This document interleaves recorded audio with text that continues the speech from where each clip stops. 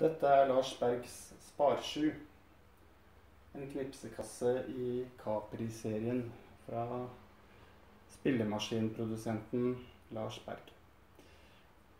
Eh, mange synes at dette er den peneste av Lars Bergs knipsekassemodeller, og jeg er skjønt enig i det.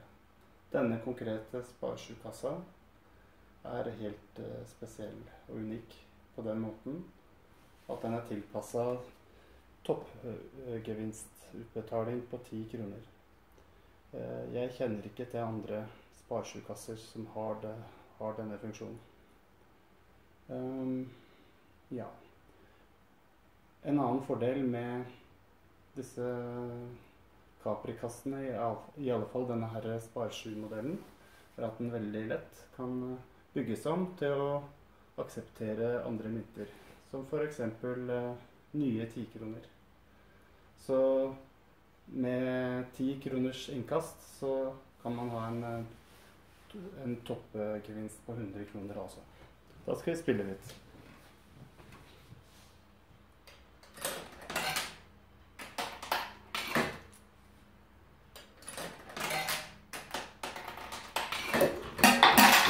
Som du ser, så viser displayet her uh, siste utbetaling.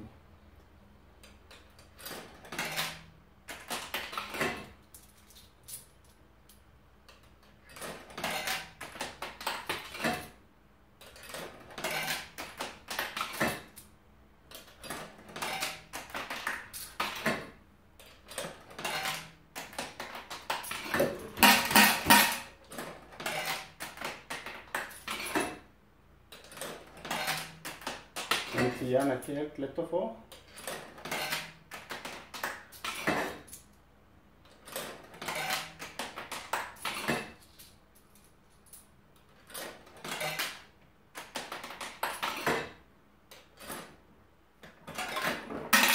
Noen ganger så, så må man eh, så går ikke mynten gjennom myntekastet, for at mynten enten er veldig skitten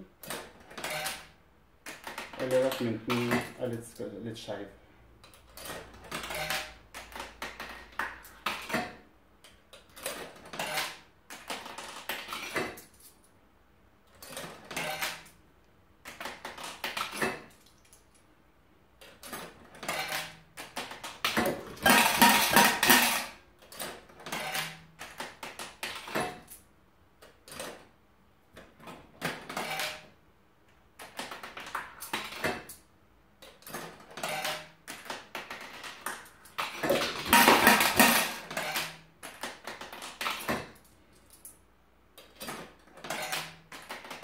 Der, ja.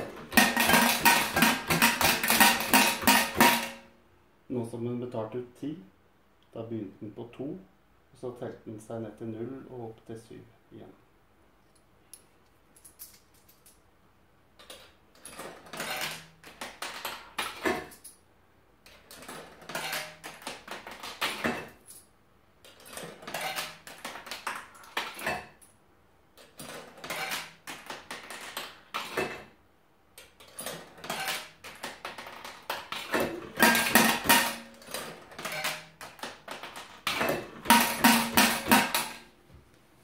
Lars Bergs Sparsju, altså.